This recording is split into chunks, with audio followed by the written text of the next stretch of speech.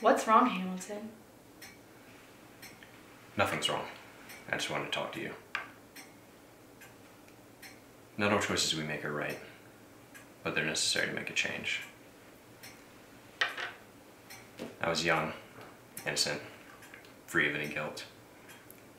And then my parents died. And I went to live with my uncle, George Peters. And George wasn't the best adult influence. He always had women, lots of women, men in dark suits around the house. But I was always taken care of. I was a soldier to my uncle.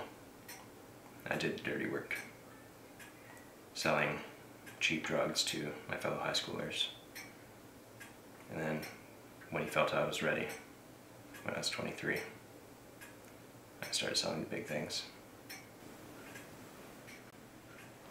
All right, you know the plan. If something goes bad, make sure you give us a code word so we know. Got it.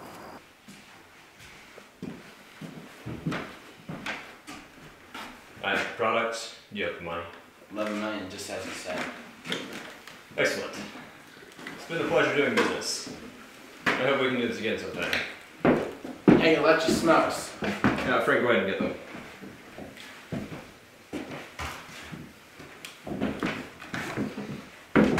Green! Get on the ground now! Get on the ground! Get on the ground! Do it now! Shots for shots for everyone on the ground! Get on the ground now!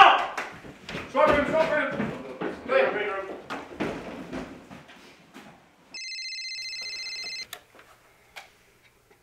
George Peters speaking. George, they have me. What have you told them? Nothing yet. But I'm about to tell them everything. This is for me, George.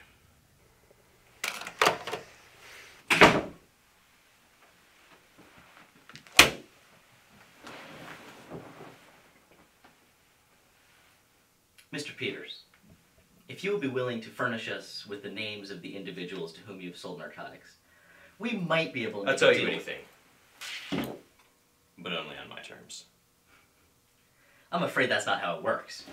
Listen, I know you need information I have on the American cartel. You haven't caught any of us in years. You've reached a dead end. I'll tell you anything and everything if you give me witness protection. Why would we give you that? Because I'm your last shot at stopping the cartel. Because my family will hunt me down. They'll kill me. Your last shot at stopping the cartel will be gone. Why would you tell us?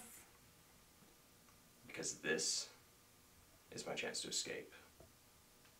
Escape this life. And I just kept running from everyone, everything, from who I used to be. You know, it wasn't until I stopped that I found some sort of peace. You know, I had a clean slate. Why wasn't I using it? And that's when we started dating. And then marriage. I guess you never thought you'd be getting into this mess.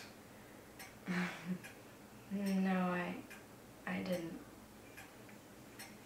So I did it. I escaped from Lewis Peters. And I became Hamilton Reynolds, the head of the financial division at Fitzhugh International. And that's when my uncle found me.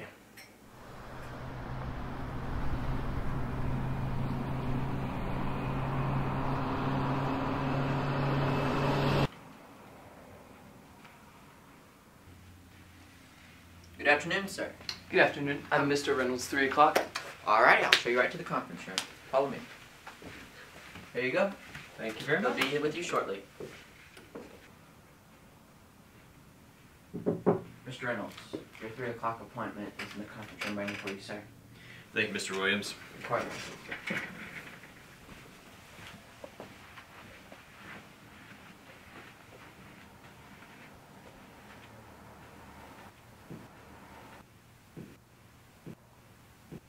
It's nice to see you again, Lewis. What are you doing? How'd you find me? It's not that hard to find a financial officer at Fitzhugh International, especially one who just cleared 14 million last year. What do you want from me? It's time that you come back. Lewis, Don't call me that. That's not my name. That's not who I am. I'm Hamilton Reynolds. Lewis Peters will always be your name. The family needs you.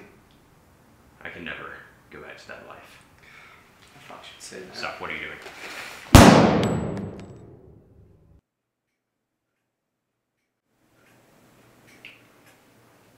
Why did you kill him?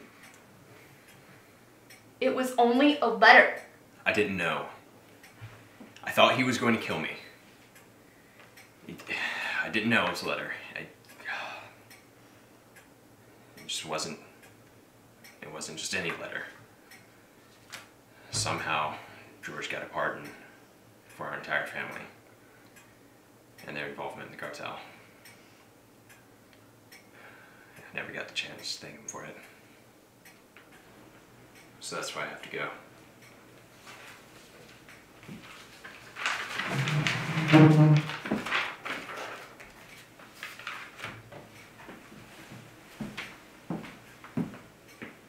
Sorry I didn't tell you sooner. I hope you can forgive me.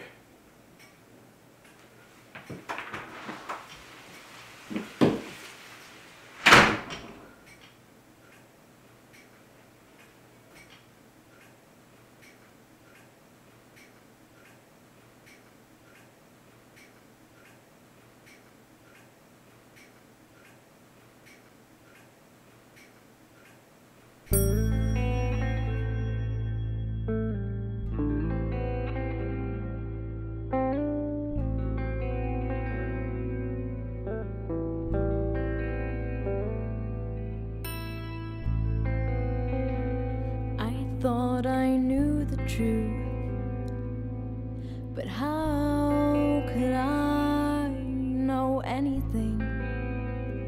For I didn't know you. He feels it every day, a sharp awakening pain,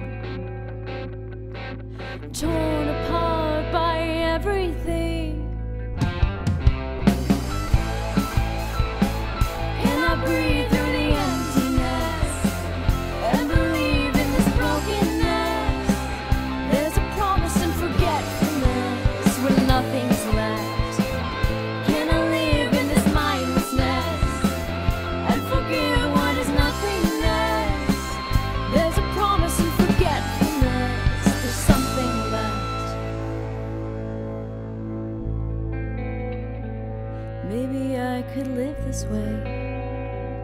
awakened by the pain, mourn the heart of everything.